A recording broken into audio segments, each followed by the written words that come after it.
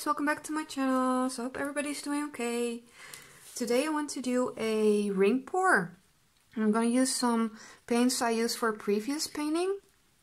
And they're all just cheap craft paints mixed with water and some PVA glue. Um, there's about 25% water, 25% glue, and 20 and 50% paint and some are thinned down a little bit more because some pigments are heavier or thicker and they need a little bit more water. So I'm just gonna layer my cup.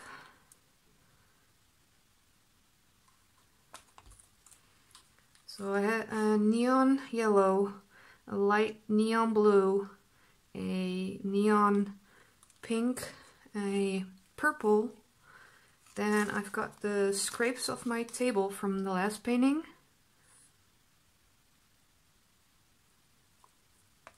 So that those contain a little bit of metallic.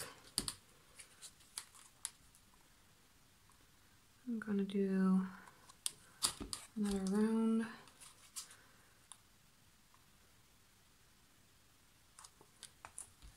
Let's add some silver in here.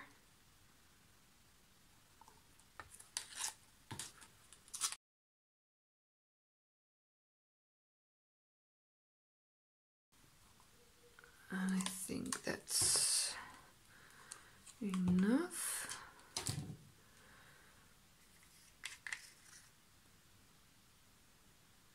Drizzle a little bit more pearl white on there, just for good measures. And pinch it. Ooh, it's a full cup. Let's see how this goes. Ooh. Ooh, it's messy. No, it's not much of a ring.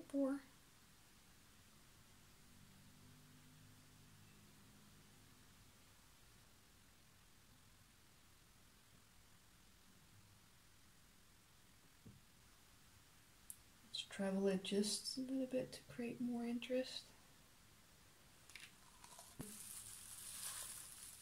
There's so much paint on here. But I think I'm gonna put just a little bit of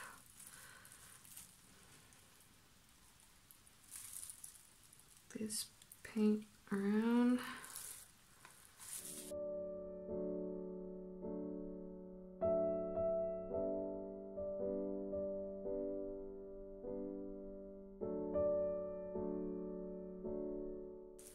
I think I'm going to go off to this side just a little bit more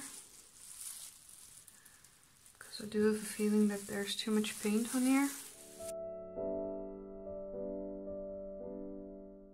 I've lost a lot of my light colors so we'll have to keep our fingers crossed that it dries nice and bright.